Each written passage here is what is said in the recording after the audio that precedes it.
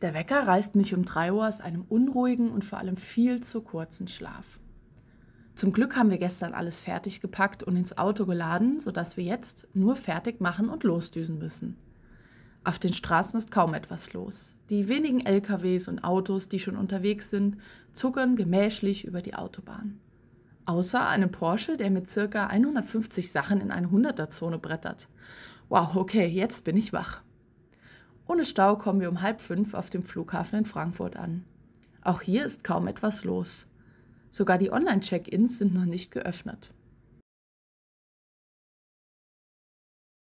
Aber nach kurzer Wartezeit geht es schon los und wir können die Koffer abgeben. Auch durch die Sicherheitskontrolle geht es schnell. Leider lässt unser Flugzeug auf sich warten, weshalb wir wahrscheinlich schon mit einem Delay starten werden.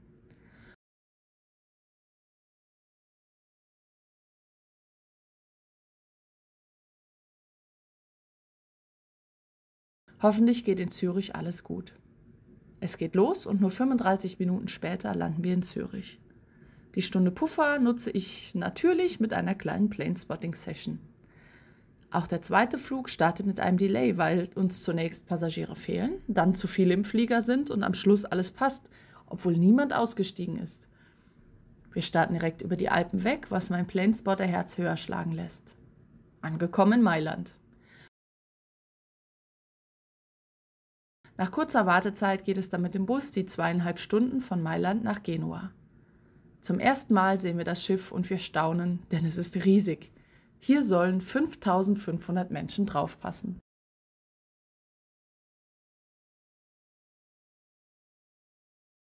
Tag 1 Marseille, Frankreich. Marseille war schon immer ein wichtiger Handelsknotenpunkt aufgrund seiner strategischen Lage. Er baut von den alten Griechen, erobert von den Römern und zum Schluss an die Franzosen übergeben, zählt Marseille heute noch zu den wichtigsten Häfen, wenn es um den Rohstoffhandel aus Afrika geht. Zurück zur Reise. Wer mich kennt, weiß, dass ich natürlich im Vorhinein schon alles geplant und mich informiert habe. In sämtlichen Artikeln, Kommentaren und Rezensionen über Marseille habe ich gelesen, dass die Cathédrale de Notre-Dame ein Muss beim ersten Besuch der Stadt ist. Da diese berühmte Wallfahrtskirche, die übrigens der heiligen Mutter Maria geheiligt ist, auf einem Berg liegt und wir eigentlich gar keine Lust hatten, uns dort hinauf zu quälen, haben wir uns für die Bimmelbahn entschieden. Für 10 Euro bekamen wir eine wundervolle Stadtrundfahrt am Meer entlang und eben den Transfer zur Kathedrale. Hier mussten dann doch noch einige Treppenstufen bewältigt werden, ehe wir zusammen mit ungefähr 37.000 anderen Touristen endlich in die Kirche konnten. Von hier hatte man den Hafen, den alten Hafen, das Stadion und die Gefängnisinsel im Blick. Im Anschluss schauten wir uns noch den alten Hafen und das Altstadtviertel Le Panier an.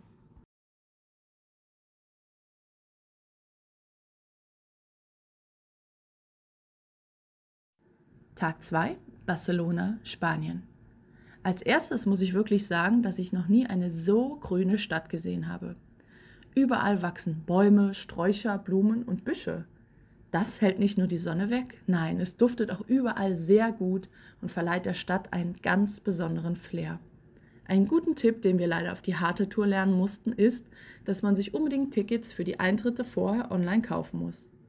Sowohl für die Sagrada Familia als auch für den Park Güell gab es für zwei Tage keine Tickets mehr.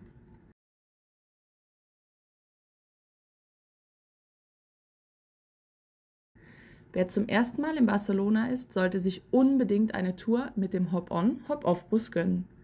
Für 33 Euro kann man den ganzen Tag damit fahren oder für 44 Euro ganze zwei Tage. Was ich hier wirklich super finde, ist, dass es zwei Routen gibt, die beide im Preis inkludiert sind und man so wirklich alle Monumente der Stadt sieht. Dementsprechend haben wir auch sehr lange dafür gebraucht. Die Busse fahren so häufig, dass wir eigentlich nie länger als 10 Minuten warten mussten. Wir sind mit der roten Route bis zum ersten Kreuzpunkt gefahren und dort sind wir in die blaue Route gestiegen und bis zur Sagrada Familia gefahren.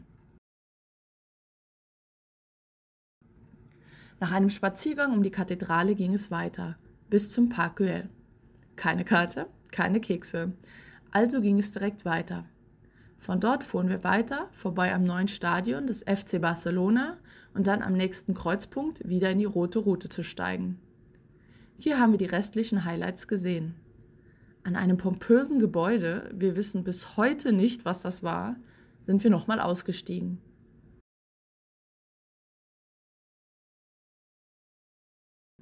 Vorbei an Orangenbäumen und duftenden Blumen ging es dann durch die Berge zurück zum Hafen. Seetag. Heute ist nicht viel passiert. Wir haben uns auf unserem Balkon ausgeruht, gelesen und ansonsten nicht viel gemacht. Tag 3.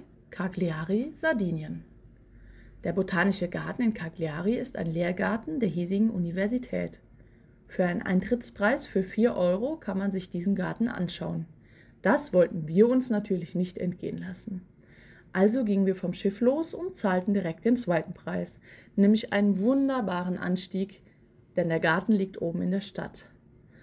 Uff, endlich oben angekommen, waren aber alle Schmerzen und Schimpfereien vergessen und wir freuten uns über duftende Blumen, skurrile Bäume und sehr spitze Kakteen. Autsch, mein Arm. Und eine unterirdische Tunnelanlage, die die Römer als Zitadelle benutzten. Grob erklärt ist die Zitadelle Teil einer römischen Festung. Bei einer Erstürmung der Stadt durch feindliche Truppen dient sie als Rückzugsort für die Garnison und letzter Widerstandskern der Stadt. Direkt neben dem Botanischen Garten liegt das Kolosseum. Den Eintrittspreis von 3 Euro haben wir uns aber gespart und sind einfach drumherum gelaufen, denn von hier sieht man genauso viel. Was meint ihr? Hättet ihr das Geld bezahlt? Nachdem wir uns den Anstieg vorbei im Kolosseum erkämpft hatten, ging es leicht bergab. Immer weiter den Touristenströmen hinterher. Zunächst ging es durch zwei Tore, die zur ehemaligen Stadtbefestigung gehörten, und vorbei an alten, engen Gässchen. Vor der Kathedrale war ein regelrechter Menschenauflauf. Diese ist kostenfrei zu besichtigen, weshalb wir einen kurzen Blick riskierten. Schöne Gemälde zierten die Wände und Decke, und unten in der Gruft konnte man die Königsgräber besichtigen. Nach unserem Besuch in der Kathedrale folgten wir den Besucherströmen durch die kleinen Gässchen mit den bunten Fassaden. Ich finde es so schön, dass sich jeder auf seinem Balkon seine eigene kleine Welt einrichtet, sei es unzählige Pflanzen oder einfach die Wäsche, die hier oben am besten trocknet. Immer weiter ging es hinab zur Bastion San Remo. Von hier hatte man nicht nur einen tollen Blick auf die einfliegenden Flugzeuge, im konkreten Fall eine Dornier der italienischen Air Force, sondern auch die Möglichkeit, in die Innenstadt zu gelangen. Hier reihen sich moderne Geschäfte an kleine Boutiquen. Da wir beide Hunger hatten, entschieden wir uns in einem kleinen Restaurant eine Pizza zu essen, da die ausgestellten Pizzen herrlich aussahen. Und was soll ich sagen, es war die beste Pizza, die ich je gegessen habe. Wir waren dann noch schnell im Supermarkt, ehe wir uns auf den 1,5 Kilometer langen Rückweg zum Schiff machten. Tag 5, Pompeji, Italien. Wir legen in Neapel an. Sämtliche Reiseberichte haben empfohlen, beim Einlaufen an Deck zu stehen. Außerdem will ich endlich mal den Vesuv sehen, was schon lange ein Traum von mir ist. Also stehe ich extra früh auf, laufe gespannt auf den Balkon und die große Ernüchterung erfolgt prompt. Eine dicke Nebelsuppe hängt über Neapel und man erkennt gar nichts. Da wir aber schon viel vorhaben, gehen wir schnell zum Frühstück, um pünktlich das Schiff zu verlassen.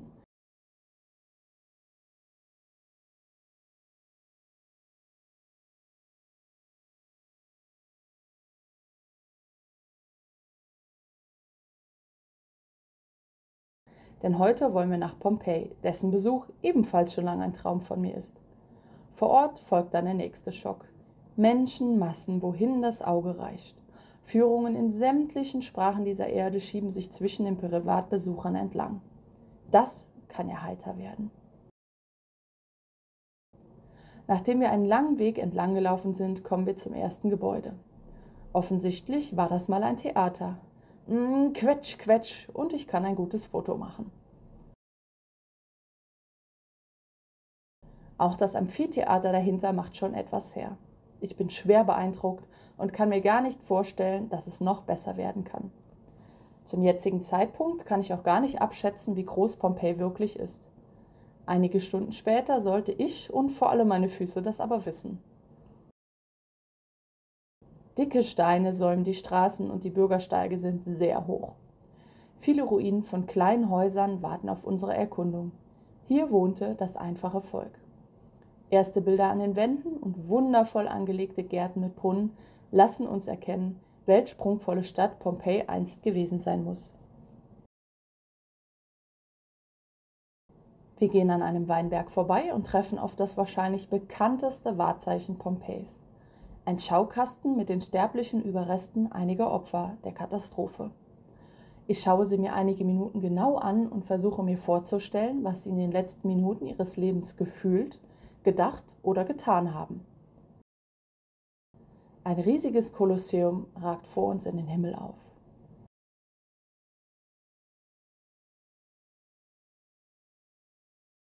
Durch einen dunklen Steingang gelangen wir ins Innere des Kolosseums. Wie sich die Gladiatoren gefühlt haben müssen, kurz bevor sie zu ihrem vielleicht letzten Kampf antraten, das kann man sich nur schwer vorstellen. Aber die Dimensionen dieses runden Gebäudes lassen erahnen, welche Massen an Menschen ihnen zugejubelt haben müssen. Wir gehen weiter. Die Häuser werden immer größer und prunkvoller. Fast alle haben jetzt Säulen und große Gärten. Wir sind im Villenviertel Pompeis angekommen. Alles, was damals Rang und Namen hatte, wohnte hier. Staunend laufen wir von Raum zu Raum und bestaunen die noch teils sehr gut erhaltenen Skulpturen und Wandmalereien. Auch die vielen Brunnen mit Geschlechtsteilen mustern wir skeptisch. An dieser Stelle erspare ich euch aber die Bilder. Nach vier Stunden haben wir dann müde, aber sehr glücklich Pompeji verlassen. Wir hätten noch weitere vier Stunden hier bleiben können, aber irgendwann war dann noch einfach die Luft raus.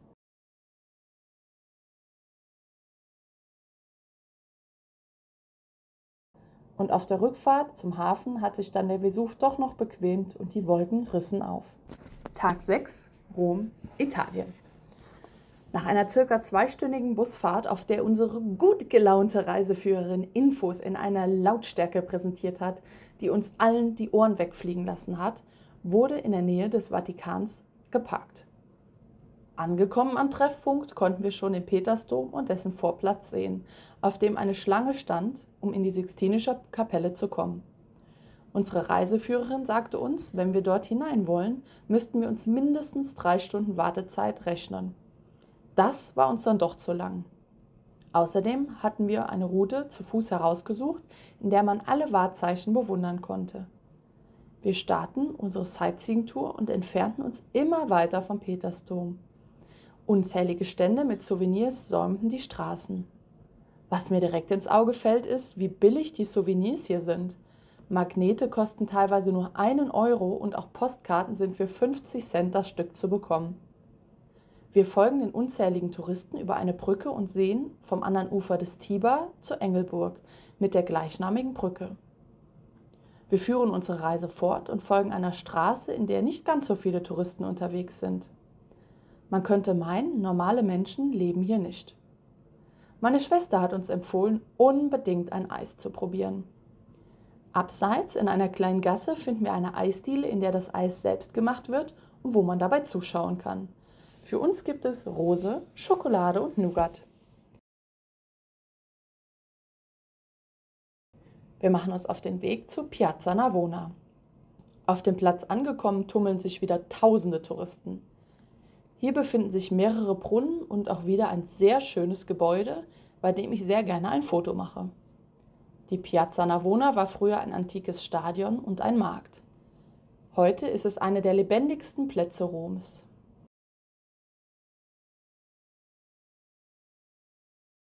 Wir verlassen den großen Marktplatz und machen uns auf den Weg zum Pantheon. Immer wieder sind tolle römische Embleme in Kanaldeckel und Zäune eingelassen. Ich, der sich Rom wie in den Asterix-Comics vorstellt, freut sich über solche Details, weil bisher nicht viel typisch Römisches zu sehen war. Doch das soll sich jetzt beim Pantheon ändern. Hohe Säulen tragen einen riesigen Stein mit römischer Aufschrift. Lange bleiben wir aber nicht, weil es hier übervoll ist.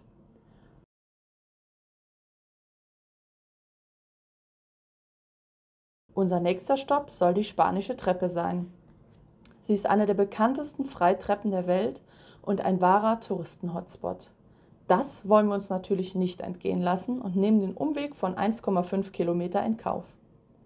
Im Nachhinein hätten wir uns das wirklich schenken können, denn außer Touristen haben wir nicht wirklich was gesehen. Doch wir lassen uns davon nicht unterkriegen und machen uns auf den Weg zum nächsten Highlight, dem Trevi-Brunnen.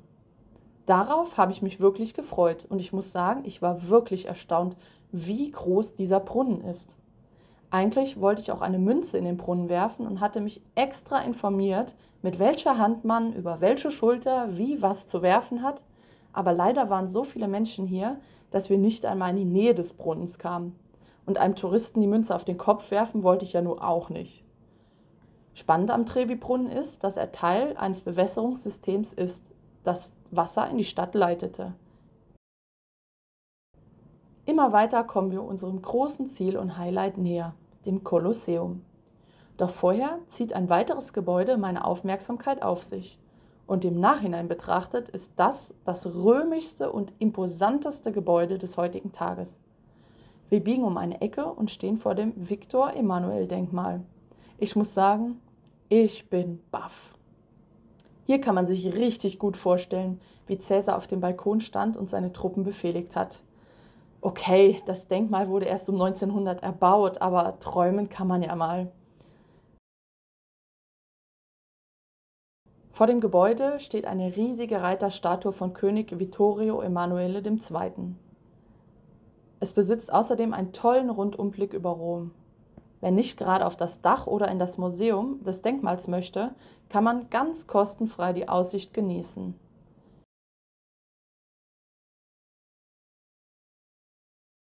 Hier sehen wir auch zum ersten Mal das Kolosseum, weshalb ich jetzt ziemlich aufgeregt bin.